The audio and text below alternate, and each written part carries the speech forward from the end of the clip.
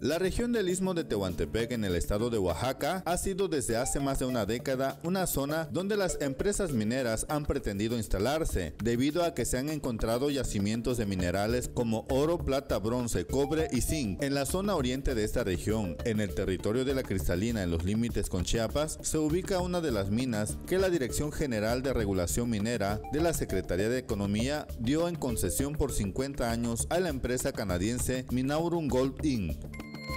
La región del Istmo está llena de concesiones mineras, porque bueno, Oaxaca es un lugar donde hay muchos cerros y finalmente en esos cerros es donde existe todo ese material, esos minerales que quieren explotar las empresas. Y son, bueno, yo creo que es dañino, aunque fueran empresas nacionales, ¿no?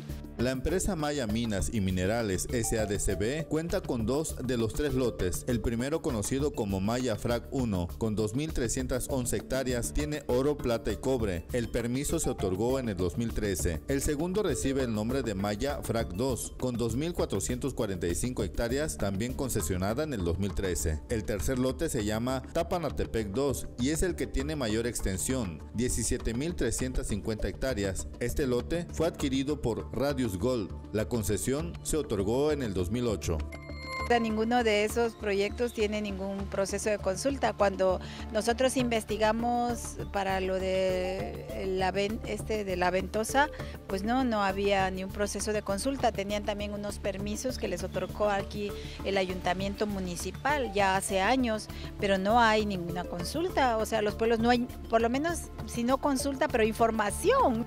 Loteniza es una concesión para la explotación de 8.150 hectáreas de tierras en el Cerro La Taberna en Ciudad Ixtepec, Oaxaca, y la que se encuentra activa es la que se ubica en el Cerro Eustaquio en la población de La Ventosa, Agencia Municipal de Juchitán, Oaxaca.